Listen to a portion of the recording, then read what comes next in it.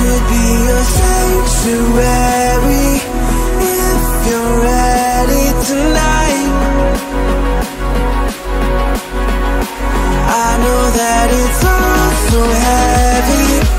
Won't you let me inside? Cause I could be your sanctuary.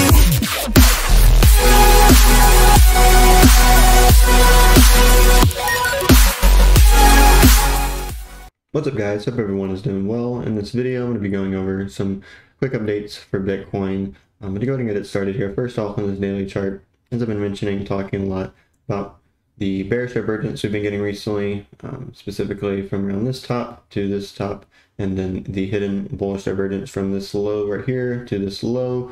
Realistically, the hidden bullish divergence goes all the way back to the low we set at $15.4 thousand approximately back in November of last year, we can see that as I went over recently, the lowest drop in RSI, relative to the most recent drop we've seen, was lower than not only going all the way back to March, um, when we dipped below this 200 estimated moving average back here, printed the pink vector candles as well, and also when uh, we got rejected off the 50 EMA right here, the bull moving average going into the what uh, so far now is the lowest low at around 15.4 thousand back in November of last year.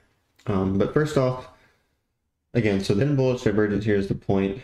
Um, on the daily, we can see that none of the candles have closed below right here. So that kind of more micro hidden bullish divergence is still validated currently. If we quickly go to the two day here, you can see also have not gotten that candle close yet to validate that more micro, that shorter term hidden bullish divergence. Three day as well we go to the four day. This is the only going all the way up to the weekly, six day, seven day, etc. Right here, the four day, the previous four day candle did close below the candle we saw back here. So according to the four day, the hidden bullish divergence is in a sense already invalidated. Although, um, let's just assume here for a second that because of the hidden bullish divergence or for whatever else reason, the price is going to go up. Um, from here at the lows we've already set, um, it's really uh, technically doesn't have to be an invalidation. This is, like I said, it's only on the four day. Um, and is, for example, I mean, if we spike up from here and continue to go up somewhere like that green path that just on the chart, something like that, then for all intents and purposes, that hidden bullish divergence is still, in my opinion, would still have been played out there after seeing bearish divergences. Um, and then if I go to, let's see, the five day, you can see that our current candle, put a day, 18 hours left. It could close below, could not we look at the six day here. The six day candle is already below the candle back here in June. Um, we haven't closed it yet. We have three days, 18 hours left. So that could end up happening. And like I said, the seven day basically looks the same as the six day. And then the weekly can, is obviously still going to look the same. It's still it's kind of odd how if you look at the seven day chart and then you look at a weekly chart, they, they look just a little bit different. Um, so if I go back to the daily here, like I said, I wanted to point out this hidden bullish divergence a little bit more clearly on the RSI. This goes all the way back to the low November around 15.4 thousand. And you can see drawing this trend line that it lines up with this area right here, right here, and right here. And the chart this lines up with, again, 15.4 thousand to the next set of pink vectors right here in March. Um, it ignored these. RSI didn't get oversold enough right here. And then fast forward to currently, we can see this kind of almost triple hidden bullish divergence playing out here. If I get back to the weekly real quick um, to hone in on the way that I have. So if you look down here at the RSI, we can see I'm using the you see the RSI forming in this channel. This represents kind of a linear, more traditional way to look at what we see up here. Top bearish divergence and bullish divergence right here. I use these curves to denote them as well. Um, like for example, I mean, we could totally just fall off the deep end right here and go even lower and validate that hidden bullish divergence. That would generally line up with, like I said, either let's say maybe we bleed in as late as November. I'm personally thinking right now towards as low as 20,000. Just hold at least, you know, maybe seeing some wicks down to 19,000, maybe even some very drastic wicks, kind of like the March crash down to 18,000. So I'll touch on that here in a moment. Um, so when it comes to the price and the RSI breaking out, all this seems to be lying pretty heavily right now. In the short term, around approximately 29,000, give or take like $500 I think that'll roughly be kind of the pinpoint price when we see price will start to break above that, obviously, and then we'll see the RS start to see the RSI, you know, encroaching above this around uh, 52 and heading above around 62 right here at the, uh, the upper portion of what this resistance on RSI, the bearish divergence has been so far. Um, this chart right here on the daily basically sums up everything that I was going over. Um, like I said, entertaining it down. Worst case scenario, I think um, bull market, or bull, right, let me start over the bull market. I think personally, all things considered, has already began. I think the bottom of the bear bull market support is somewhere in this red box. Um, but if we look here at this time tool, we can look at this, the, uh, 200 EMA, this white moving average. You can see we crossed below it briefly back here and around March. Um, and we went down, or at least went down further below that, around 10.18%. Uh, we crossed below the 200 EMA again recently, similar to what I went over prior. And if we go down to the same percent, 24.5 is basically where that's lining up. We could see that in a wick. If we see that in bodies, uh, the candle's getting down there, then like I said, you could, you know, kind of call it, uh, I suppose, the, the hidden bullish divergence being invalidated. But as long as it holds that, even though it closed a little bit below it, me personally, at least, uh, all things considered, I would just look at it as the hidden bullish divergence playing out. Um, outside of that, let's say we do come down to the black or the blue box, uh, assuming the local low hasn't already been met, and for example, we would just slowly kind of just move up from here. Maybe we'll go sideways for a little bit and then move up, but the local low has already been met. We hit the blue box, uh, I mean, it could break down to the orange box. If we hit the orange box, 22, 23,000 23, approximately, we could see some wicks down to the red.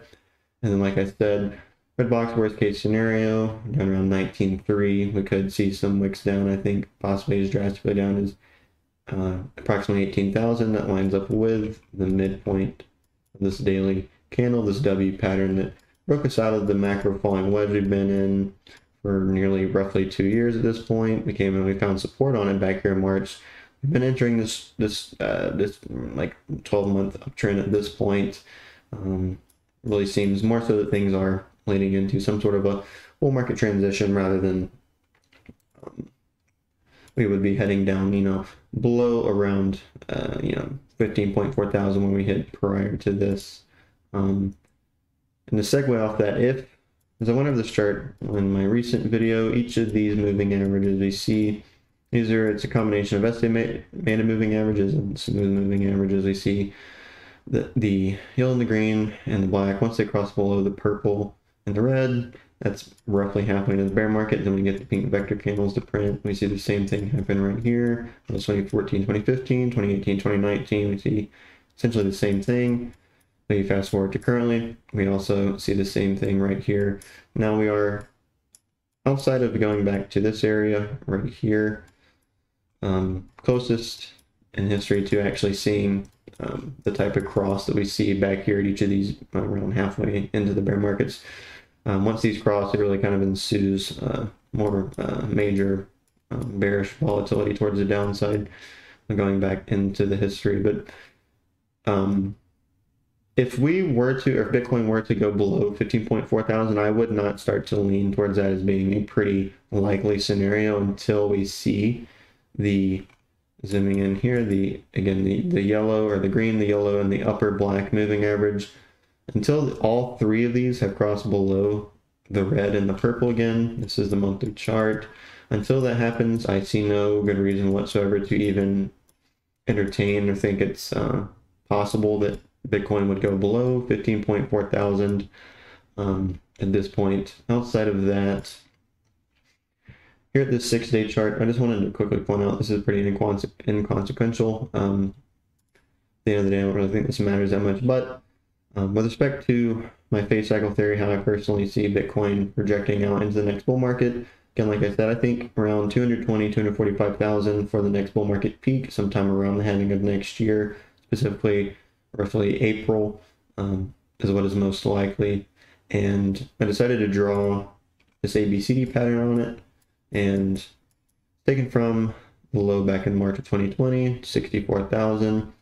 That's A, B, we go down to C right here. It's not at the low, so this could be some sort of, this is rough exception. Perhaps it's, you know, obviously why it's not necessarily accurate, but um, is drawn roughly to the low right here. Also, the way that I do have this drawn acts as a nice kind of median of this downtrend we've been in. You see right here, obviously minor rejection until we broke above it, support, support, broke above or below, and then we got rejected throughout this bear market bottom. We made this type two or um, type three double bottom right here in this range and circling.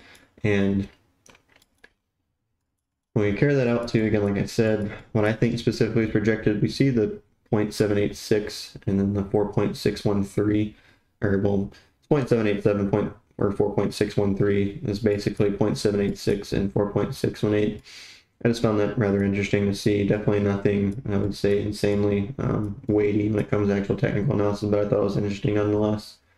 Um, but to sum things up real quick, like I've been saying, I don't think anything will go below 20,000. Uh, maybe seeing some wicks down to it. Where's 18,000 at this point? I think if it goes that low, it would happen before no later than, you know, end of Jan or, or my bad, end of November this year. Might bleed into December, but I think at the very, at least all things considered, um, Bitcoin is most likely, rather than not, to set new highs next year. Also, given the halving, whether or not we, you know, bleed for a you know, into the halving down to 20,000, and then things finally pick up after the halving, which is antithetical to what I think is going to happen personally. Um, but nonetheless, whichever scenario really seems to be taken, uh, whether we get some sort of, you know, pre-halving or at halving bull top, or you know, post-halving um, top, or you know, just breaking the previous all-time high. 2024 in general seems like it's going to be a very good year for Bitcoin and crypto in general. Um, but all that being said, again, none of this is financial advice. By all means, don't listen to me. Come to your own conclusions and make your own decisions. But hopefully enjoyed. Hope you're able to learn something, and I hope you all have a blessed day.